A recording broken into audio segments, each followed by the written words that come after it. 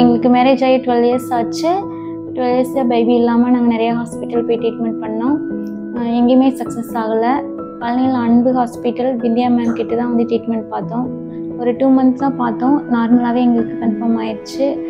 இப்போது normal delivery தான் பையன் பிறந்திருக்கான்.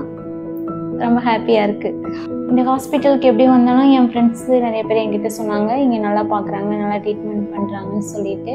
அப்புறம் இங்கே வந்து பார்த்தோம் அதுக்கப்புறம் விந்தியா மேம் நல்லா கேர் பண்ணி பார்த்தாங்க. ஸ்டாஃப் நர்ஸு எல்லாமே வந்துட்டு கொஞ்சம் நல்லா ரொம்ப கேர் பண்ணி பார்த்தாங்க. ரூம் வசதி ஹாஸ்பிட்டல் எல்லாமே கொஞ்சம் நீட்டாக இருந்துச்சு. நீங்களும் இங்கே வந்து பாருங்கள்